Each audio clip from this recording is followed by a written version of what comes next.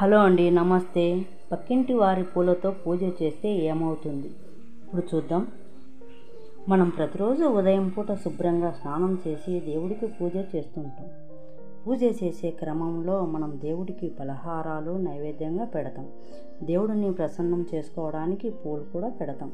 ఈ నేపథ్యంలో మనం పూలు ఎలా తేవాలి ఎక్కడి నుంచి తీసుకోవాలి అనే విషయాలు ఎవరూ పట్టించుకోరు. దేవుళ్ళకు పూలు అంటే బాగా ఇష్టం. ఒక్కొక్క దేవుడికి ఒక్కో రకమైన పూలతో పూజించడం మంచిది.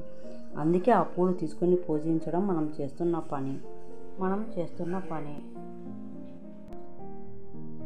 దేవుడికి పూజలో కింద పడిన పూలు అసలు వాడకూడదు. చెట్టుకున్న పూలనే కోసుకోవాలి.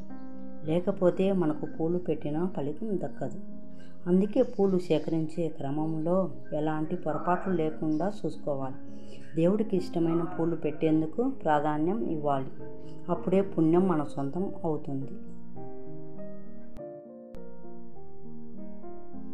దేవుడికి పెట్టే పూలు మన పెరట్లోనే పెంచుకుంటే మంచిది. ఇతర ఇళ్ళల్లో నుంచి తీసుకురావాలంటే వారి అనుమతి తప్పనిసరి. వారికి తెలియకుండా దొంగతనంగా తీసుకొస్తే ఆ పుణ్యం కూడా వారి ఖాతాలోకి వెళ్తుంది. అందుకు పూలు దొంగతనం చేయకూడదు.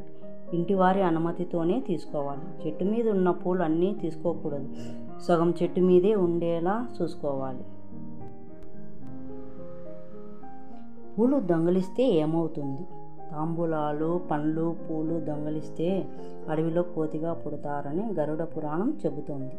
అందుకే పూలు ఎట్టి పరిస్థితుల్లో కూడా దొంగతనంగా తీసుకురాకూడదు. వాటిని ఇంటివారి అనుమతితోనే తీసుకురావాలి. అప్పుడే మనకు మంచి జరుగుతుందని అంతేకాని దొంగతనం చేస్తే మనకు మంచి జరగదని తెలుసుకోవాలి.